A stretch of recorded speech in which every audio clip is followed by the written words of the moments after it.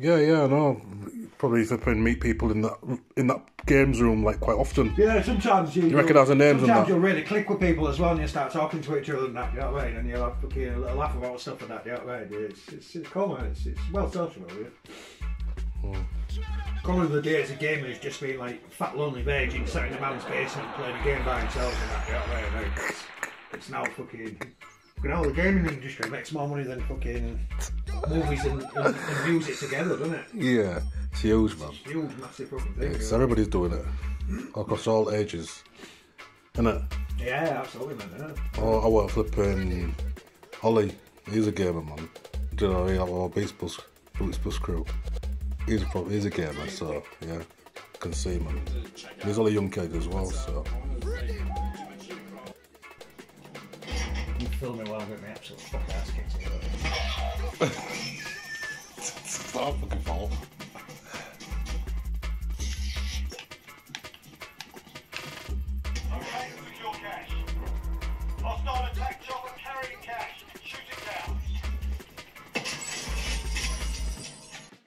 Percent of players, and I was like, "Whoa, fucking hell, top one percent! That was great."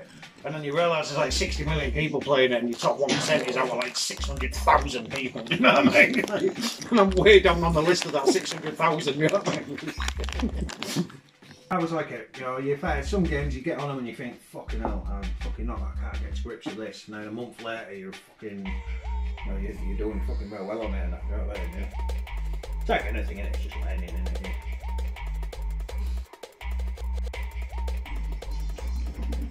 Real weird not playing it. I usually play it with my headphones on and kind of like get that direction there. It's well weird. Just feel like a nice little time. Oh, so this still, I've got one there. So left?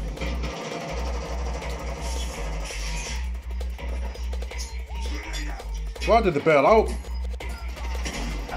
Why would they bail out? Why would they bail out towards the end, man? Is that has got somewhere to go? Ah, Team time. I got six players. It's only been playing that for. Uh, about seven months. Serious? For, is that the ending from seven months? no, this this this thingy, uh, 24 hours. Wow. Well, you woke up this morning and started playing for about six hours, you mean? No, from the early hours in the morning. From about four o'clock this morning. You've been playing that? nice. So you just finished. Uh,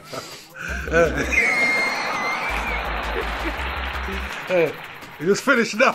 It's an escape, isn't it? SI2's designs you can find on the side of the Beast Bus. We're redesigning that side again very soon.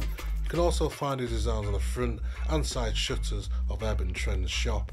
And his well-known bins are well-known locally in Hull and around the UK in different cities. He also contributed the No More Knives graffiti piece for the Beast Bus No More Knives video.